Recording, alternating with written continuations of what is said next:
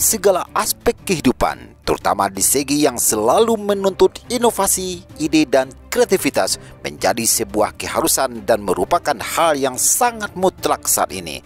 Tanpa ide dan kreativitas, tak akan ada perubahan menuju perkembangan dan perbaikan. Merealisasikan ide atau gagasan tersebut menjadi langkah berikutnya karena tanpa diwujudkan ide hanyalah sebatas ide yang tidak memiliki kegunaan sebab pikiran yang ringan dan remeh tidak pernah menerima ide-ide hebat dan tidak pernah mencapai sesuatu yang hebat.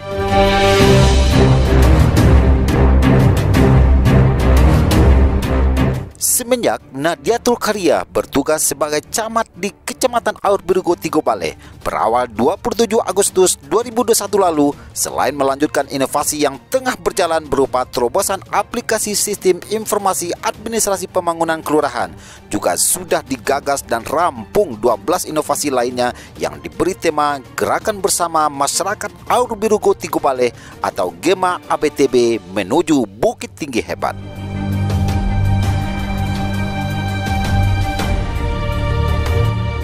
Berikut adalah inovasi yang sudah diterapkan serta inovasi yang sedang pematangan untuk eksekusi pelaksanaannya. Adalah pertama, aplikasi Siapa merupakan aplikasi sistem informasi administrasi pembangunan kelurahan sesuai amanat dari Pemendagri nomor 34 tahun 2007 bahwa setiap kelurahan harus memiliki administrasi kelurahan yang dilaporkan ke kecamatan untuk kemudian direkap dan dipedomani.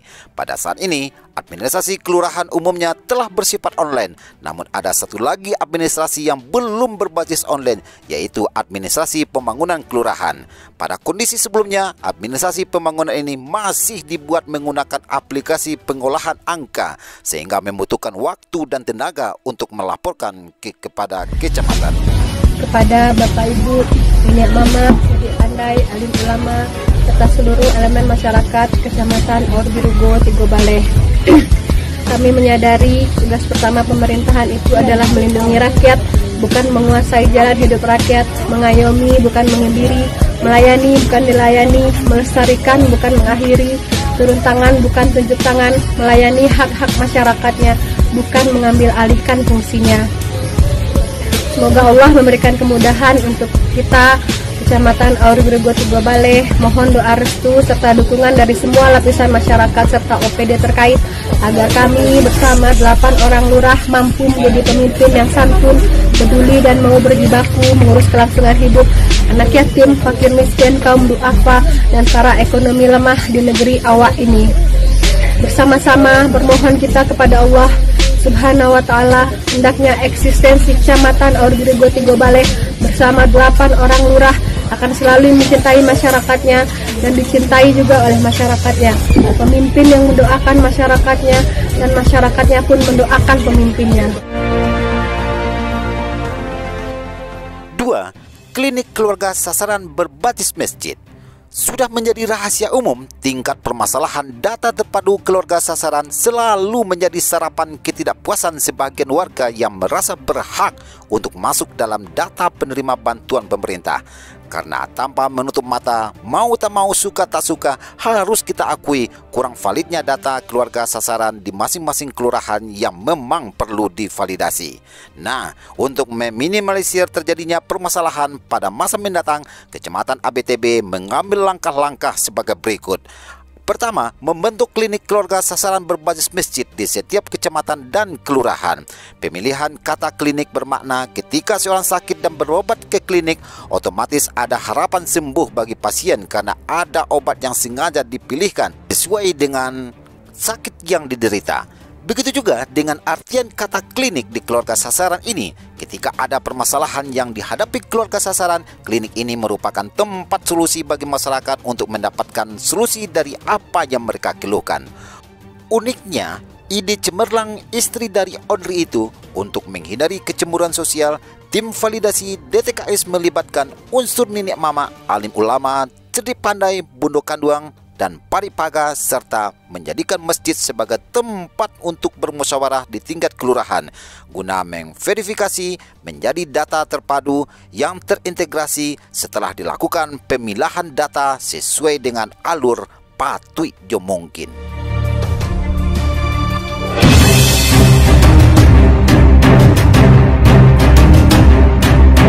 Kami pemerintah Kecamatan Aur Berigo Tigo Bale untuk verifikasi dan validasi data terpadu kesejahteraan sosial BTKS berkomitmen.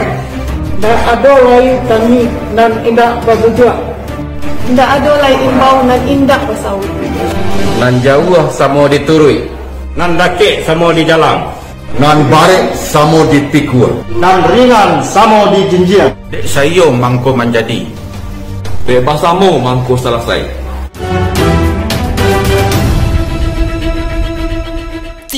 ABTB Media Center dalam konteks penyebaran dan pemerataan informasi khususnya di bidang pelayanan publik tentunya sangat dibutuhkan media yang berlandaskan keterbukaan, akurat dan aktual.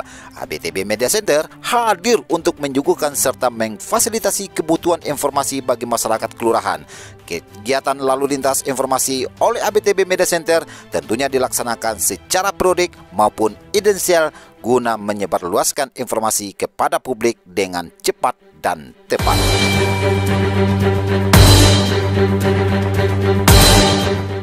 Empat, APTB Berkah. Kegiatan ini bergerak dalam membangkitkan semangat berbagi dalam wujud sedekah bagi seluruh aparatur sipil negara sekecamatan ABTB serta pihak lain yang tidak mengikat dengan menghimpun kekuatan infak dan sedekah di lingkungan ASN sekecamatan ABTB setiap bulan dengan pola sukarela termasuk menginventarisir warga yang sangat layak untuk mendapatkan bantuan dari gerakan ABTB Berkah ini. 5. ABTB Smart merangkul lembaga pendidikan tinggi serta lembaga kursus yang berada dalam wilayah kecamatan ABTB serta para perantau yang berkompeten di bidang itu untuk berkiprah mengadakan pelatihan sebagai upaya pengayaan ilmu pengetahuan terhadap generasi muda yang putus sekolah atau bagi mereka yang belum mendapatkan pekerjaan yang layak termasuk mengadakan bimbingan belajar secara gratis.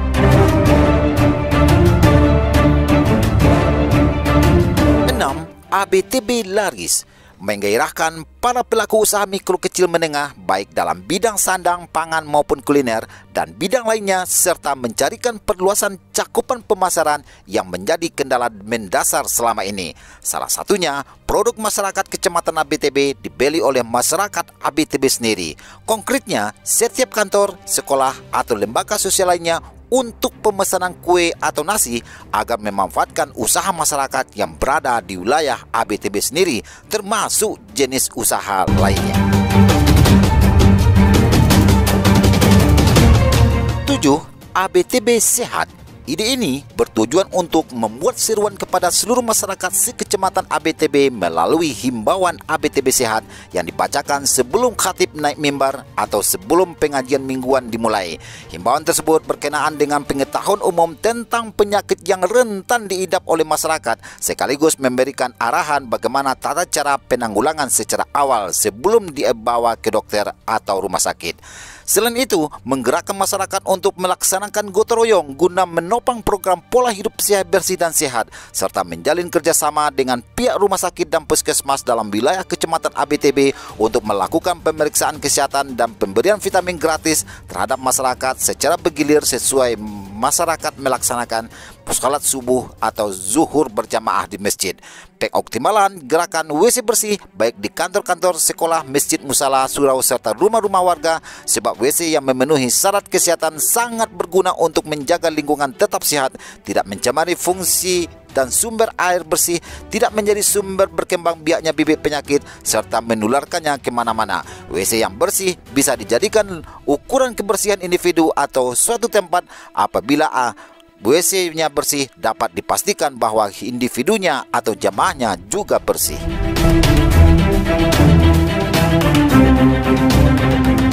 Delapan, ABTB mengaji. Program ini merupakan memberikan himbauan kepada masyarakat tentang perlunya rutinitas mengaji setiap selesai sholat maghrib, baik di masjid, musala, dan di rumah masing-masing. Himbauan tersebut secara rutin dibacakan oleh pengurus masjid dan musala setiap jam 6 sore melalui mikrofon masjid dan musala. Membentuk serta menggairahkan rumah tahfiz pada setiap kelurahan melalui partisipasi masyarakat baik yang berada di kampung maupun perantauan. Menghidupkan kembali tradisi membaca Al-Quran setiap selesai salat maghrib di seluruh pelosok RT RW dengan mematikan siaran televisi serta handphone seluler sekaligus menjadi ajang untuk memperdalam wawasan keagamaan dan tidak hanya menghabiskan waktu untuk hal-hal yang kurang bermanfaat sekaligus meminimalisir pengaruh negatif dari media elektronik dan telepon seluler dengan permainan gamenya. 9 ABTB menanam. Gerakan ini bertujuan untuk menumbuh kembangkan minat menanam di tengah masyarakat. Pola yang akan dilakukan melalui program sumbangan bagi setiap calon pasangan suami istri yang akan melakukan pernikahan. Dihimbau untuk menyumbangkan lima jenis tanaman bumbu atau tanaman buah-buahan.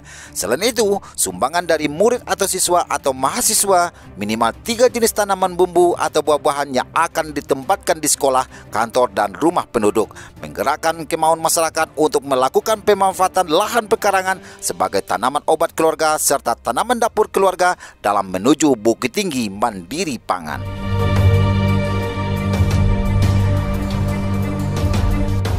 Sepuluh ABTB Bugar dalam memotivasi kegiatan seni dan olahraga bagi kalangan generasi muda pada setiap kelurahan dengan membentuk forum generasi muda tingkat kecamatan yang mencakup seluruh bidang seni dan olahraga yang berkembang di tengah masyarakat serta menggelorakan kegiatan senam di kelurahan termasuk senam lansia.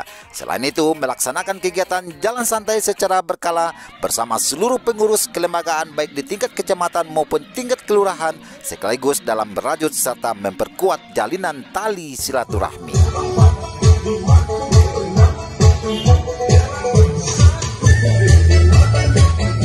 Sebelas aplikasi reaksi cepat lapor untuk peningkatan kualitas pelayanan online terhadap masyarakat pemerintah Kecamatan ABTB terus berupaya maksimal melahirkan inovasi agar keluhan warga dapat segera diatasi. Menciptakan aplikasi berbasis online sungguh merupakan sebuah tindakan bijak dalam menjawab permasalahan di tengah masyarakat. Aplikasi ini akan sangat membantu warga masyarakat dalam memberikan informasi terkait permasalahan yang terjadi secara dini dan aktual. Ketika masyarakat menemukan kendala atau permasalahan sosial di tengah warga seperti jalan berlubang, pembuangan sampah sembarangan, lampu jalan yang tidak nyala, atau masalah lainnya yang dapat menimbulkan gangguan kenyamanan dan ketertiban masyarakat umum, aplikasi akan dapat mengakomodir keluhan tersebut untuk nantinya diteruskan ke dinas terkait guna ditindaklanjuti. 12. ABTB Berbudaya Kegiatan ini berguna untuk membangkitkan semangat serta rasa cinta yang lebih besar lagi terhadap budaya dan adat istiadat kepada anak kemenakan melalui media sile, randai, grup sanggar, tambu atau tansa, dan belajar pesambahan untuk menggairahkan serta memberikan motivasi terhadap grup sanggar atau kelompok belajar pesambahan akan diadakan ajang lomba prestasi tingkat kecamatan sekali dalam setahun.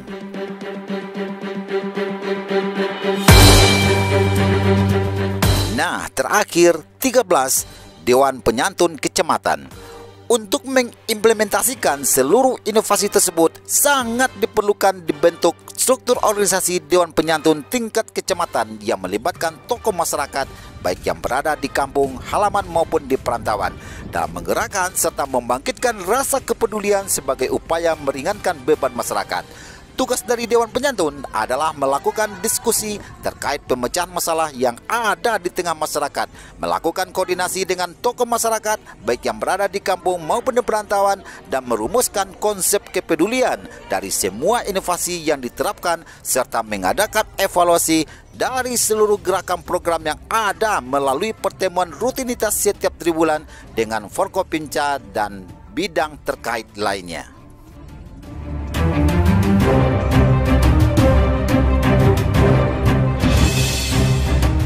Nah, ini dia inovasi yang menjadi beredit serta unggulan di Kecamatan Aur Berugo Tigo Bale berupa delivery antar berkas tunggu beres atau delivery ABTB.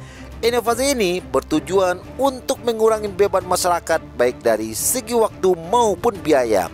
Bagi masyarakat yang selama ini selalu berusaha ke kantor camat untuk mendapatkan pelayanan surat izin usaha mikro kecil dan surat keterangan ahli waris, serta daftar susunan keluarga dan legalisasi surat kepemilikan tanah untuk penerbitan IMB di wilayah Kecamatan Aur Biru Tigo Bale dengan telah diimplementasikannya aplikasi delivery ABTB tidak perlu lagi menghabiskan waktu dan biaya datang ke kantor camat cukup melalui via WhatsApp Center guna menanyakan kelengkapan persyaratan untuk pengurusan suatu urusan. Uniknya, aplikasi ini masyarakat cukup hanya mengirim foto seluruh dokumen persyaratan yang dibutuhkan ke WhatsApp Center untuk melihat keabsahan dokumen akan diverifikasi di saat petugas delivery mengantarkan berkas ke rumah yang bersangkutan. Bagi masyarakat yang berurusan dan membutuhkan konsultasi administrasi lainnya, Apabila terkendala dengan koordinasi dan harus dilakukan sesuai prosedur yang ada, maka masyarakat cukup meninggalkan berkas persyaratan yang lengkap serta apabila sudah siap berkas dokumen yang diinginkan, petugas akan langsung mengantarkan berkas tersebut ke rumah warga tanpa harus menunggu dan malahan tanpa dipungut biaya atau gratis. Dari paparan di atas, dapat disimpulkan bahwa pelaksanaan tugas pokok dan fungsi kecamatan di era digital dewasa ini mau tak mau, suka tak suka harus melalui inovasi dan kreativitas yang tinggi agar seluruh program dapat dilaksanakan secara arif dan bijak serta tidak mengalami pergeseran di tengah masyarakat. Sebaliknya, komitmen dari aparatur kecamatan dan kelurahan tentunya harus juga melebihi semangat masyarakat dalam menuju perbaikan pada masa mendatang. Semangat itu harus tergambar pada prinsip one team, one spirit, one dreams, one goals. Semua itu akan terwujud apabila semua elemen berpijak pada simbik, do small, do know dan pada akhirnya tekad kita semua melalui manjada wajada siapa yang bersungguh-sungguh insya Allah pasti akan berhasil sehingga tercapai bukit tinggi hebat pada masa mendatang. Bukit tinggi hebat. Ada Terima kasih.